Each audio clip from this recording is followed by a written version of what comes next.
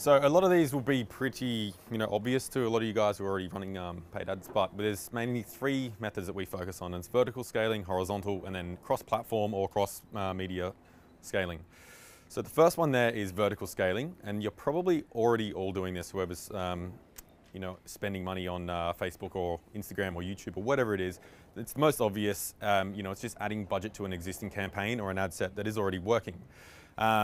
So like, for example, there, you know, I've got the uh, campaign running at $100 a day. Um, and a little side note, I will always run our campaigns with daily budgets rather than using the lifetime budgets. Um, reason being is you can't edit, edit, the lifetime budgets once you've already set up your campaign. Um, if you know campaign budget is uh, is restricting you, and that's why you pr prefer to use as lifetimes. Um, Facebook now you can actually set a lifetime of that campaign while using the daily budget um, option. So we'll always use the daily budget option so you can fluctuate and you can actually scale budgets in this manner. Now, there is a little bit of strategy to it, as simple as it might be. Um, you know, you can't just take a, an ad that's working quite well at $100 a day and then just bump it up to $2,000 a day. The algorithm's not going to like that. It's not going to work. So a bit of a strategy that we do follow is, you know, increasing that budget um, systematically, you know, 25 to 30% every single day or, you know, 50% every 48 hours. Um, now, when you're doing this method as well, be careful and make sure you're keeping an eye on the sizes of your audience as well, because you can you can slowly uh, or quickly saturate that audience. Um, now, another way to do this, um, and it's a bit more aggressive and a bit quicker, is to obviously, if you've got a, uh, a winning combination of, a, of an ad, ad, set or a campaign that's working well, you can simply just duplicate that, and that can just double that budget. If you, um, you know, you want to do that a bit more aggressive, and you you have the budgets, and you sort of know your market, you know your audiences are in the right spot, um, and they're big enough to be able to do it with this method, then you can just duplicate um, those campaigns out like I've done here. We then go on to the second method of um, scaling, which is horizontally. So with horizontal scaling, it's just simply adding new audiences into proven funnels and proven campaigns that you know are already working. So once you've done the, um, the, the, vertical scaling, um, you can then jump into the horizontal scaling. And what we do here is we can introduce new audiences, um, whether it's building out lookalikes off those um, audiences or from you know that campaign that's already working well. We're creating a data set there. We create lookalikes off the back of that. So we can introduce you know 1%, 2%, 3%. This example here at the top, again, it's really tiny. You probably can't see it from where you're sitting, but um, this was working with a, a, client over in the States, and they service the UK, uh, a lot of Europe and USA, um, Australia and New Zealand, and they sell medical practitioner um, software and, and, packs to um, into medical devices or medical devices into practitioners. So um, we were starting, we, we had so much data here, you know, we were generating tens of thousands, probably about 12,000 leads a month with these guys.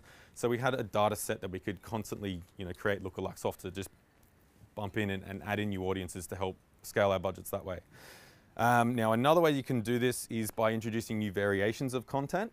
Um, so whether that's new creatives, new landing page changes, you know, split testing different um, offers as well, and even changing the ads so slightly, we've noticed has made quite a big difference. So the example we've got down here, and this kind of goes back into you know that that audience from the um, previous slide that I showed. If they're starting to saturate, and you know that frequency is hitting 2.6, 2.7, um, I can start to add in new creatives like this into that audience.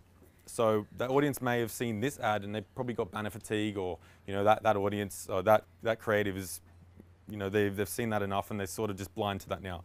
So I can start to add in new, in, um, introduce new variations of, you know, new headlines, new, um, new imagery, and then I can scale out budgets um, that way as well. Now the third um, scaling method that we've got here is cross-platform scaling or you know, cross-medium uh, scaling. So, you know, if you do have funnels and you're running campaigns that are really working well on a certain platform, like Facebook, for example, there's no reason why you can't just take, take that um, campaign and then mimic that and roll it out on LinkedIn. Test it out on LinkedIn, see if it works. Um, obviously, the targeting, LinkedIn's a very similar platform to Facebook with its um, the, the actual ads platform. So you can just plug a campaign that you know is already working, it's proven in Facebook or on Instagram, and roll it out on LinkedIn or roll it out on Google, uh, Google or YouTube. Same goes, you know, if you've got an IGTV video that's getting a lot of traction, you can roll that out on LinkedIn and, uh, sorry, on YouTube and same sort of thing. So you can start to scale your budgets out and, and um, introduce new campaigns in that way. Another way you can do this is by converting, you know, proven funnels and successful campaigns that you're running into different media forms. So, um, you know, if you're running a webinar that is, you know, seeing a lot of success, you're getting a lot of people go through that webinar, turn that webinar into an ebook. You know, people like to consume media in different ways. I personally don't have enough time really to sit down and watch a, an hour-long webinar. I'd probably rather read an ebook whereas other people might, you know, like going through a training series. So the example here is we had this, um, it's just an educational content video that we ran. Uh, it got quite a good uh, response. There was a lot of traction behind it. So we decided to turn that into a three-part video training. So then we could start capturing leads and, and, um, and actually getting that same content in a different format in front of other people who might like to consume that in a different way.